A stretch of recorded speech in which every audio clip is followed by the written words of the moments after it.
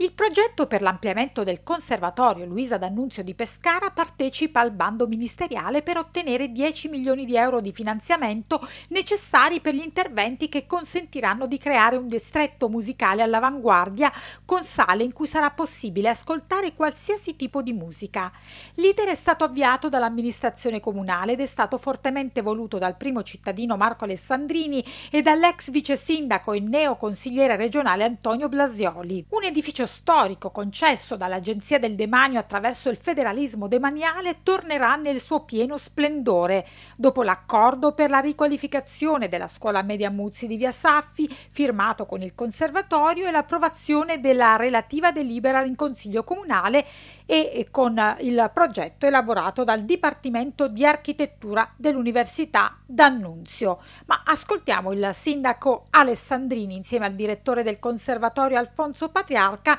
e alla docente del Dipartimento di Architettura Maria Cristina Forlani. Oggi presentiamo questo progetto che per noi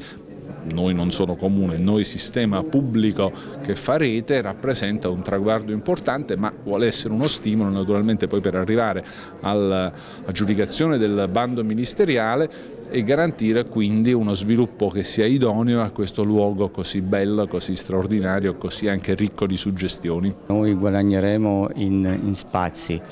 perché in questi ultimi anni siamo cresciuti tantissimo, siamo arrivati ormai ad 800 studenti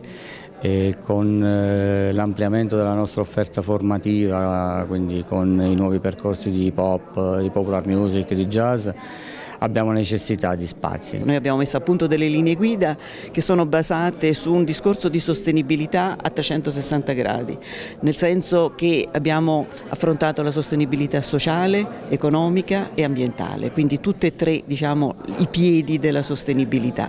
Abbiamo cercato di sviluppare un'apertura verso la cittadinanza per una cultura integrata.